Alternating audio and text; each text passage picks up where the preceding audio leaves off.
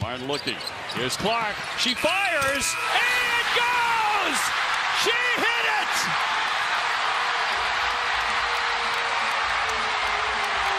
Wow!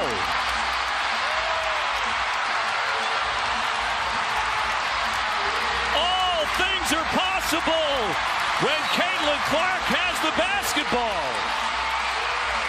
Like that. Iowa 86, Indiana 85 at the buzzer.